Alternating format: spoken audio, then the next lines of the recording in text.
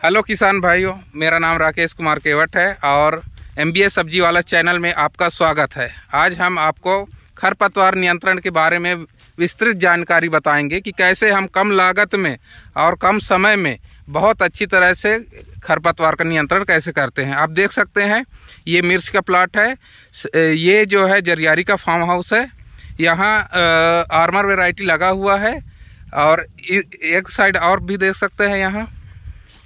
जहाँ नाली में मल्चिंग लगा हुआ है। इस साइड देखेंगे तो नाली के अंदर मल्चिंग नहीं लगा हुआ है। इस साइड देखेंगे तो नाली में मल्चिंग लगा हुआ है। ये दोनों क्रॉप साथियों एक ही दिन का ट्रांसप्लांटिंग है। अब जानना चाहेंगे इसके बारे में डिटेल यहाँ हमारे किसान भाई नरेंद्र केवट उपस्थित है। आइए चलते हैं, उनसे मिलते हैं।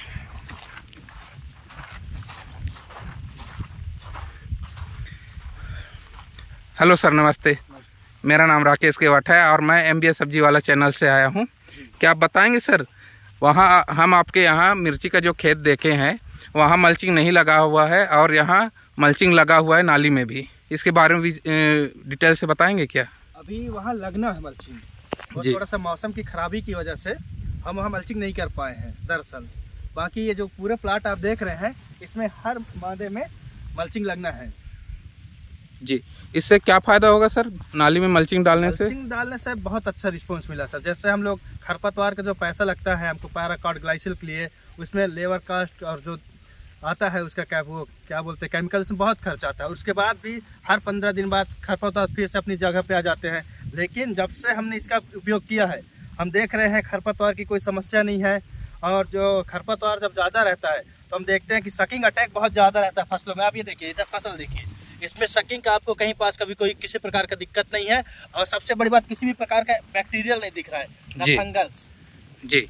और सर इसमें लेबर कास्टिंग कैसा है? जैसे हम प्रति एकड़ की बात करें तो इसमें लेबर कास्टिंग कितना लग जाता है? तीन लेबर अच्छा तीन लेबर छह छह रोल मल्चिंग ओके। ठीक है। और इसके अलावा खरपतवार के अलावा और इस पर क्या क्या फ़ायदा होते हैं? जैसे इससे कुछ कीट वगैरह कीट जो रहते हैं सकिंग रहते हैं कैटर पिलर रहते हैं उसका भी कंट्रोल होता है क्या? ज़्यादा कंट्रोल देखने को मिला है। मैं यही चीज़ अभी आपको बता रहा था जैसे हम बता रहे हैं ना इसमें सकिंग का कोई दिक्कत नहीं आ रहा है। अगर यहाँ पास ग्रास होते तो उसके ग्रास में जो कीड़े रहते हैं छोटे छोटे और वो सीधे पौधे पर अटैक करते हैं और जैसे रस चूसक होते हैं वो इसमें बहुत ज़्यादा इफ़ेक्ट करते हैं लेकिन इसमें बहुत अच्छा फ़ायदा हुआ है। जी। अभी सर हम देख रहे हैं कि जैसे हम पूरे एक नाली की बात करें एक लाइन की बात करें तो उसमें पूरा पौधा एक समान है? ये कैसे है सर? ये एक्चुअल में हम यहाँ पे जो खेती करते हैं वो ड्रिप इरिगेशन के अंतर्गत आता है। जी। ड्रिप इरिगेशन मतलब एक होता है जिसमें ये पाइप है देखिए। यहाँ पास छेद से छेद की दूरी बारह इंच के समथिंग है। जी। और यहाँ से पानी का बूंद टपक रहता है। एक घंटे में दो लीटर दो लीटर के हिसाब से ठीक है। तो हम जब वहाँ से ड्रिप से खाद देते हैं हमारा सिस्टम वहाँ पास लगा हुआ है।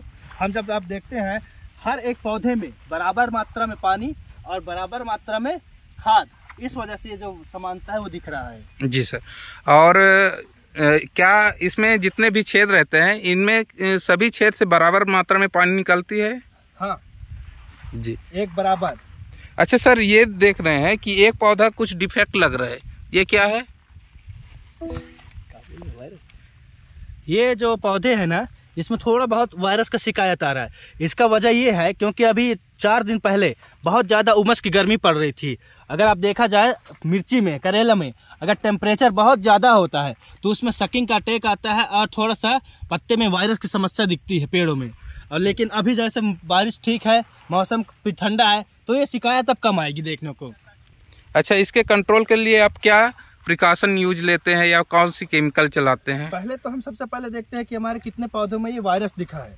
जैसे हम देख रहे हैं कि वायरस के लक्षण दिख रहा है तो हम उस पौधे को निकालते हैं और उसको कहीं प्लाट से काफ़ी दूर या किसी ज़मीन में गाड़ देते हैं। और उसके बाद हमको इसमें पर्टिकुलर केमिकल का स्प्रे करना होता है। हर चार से पाँच दिन में हम सकिंग को कंट्रोल करने के लिए केमिकल डालना पड़ता है जिससे रिज़ल्ट अच्छा रहता है।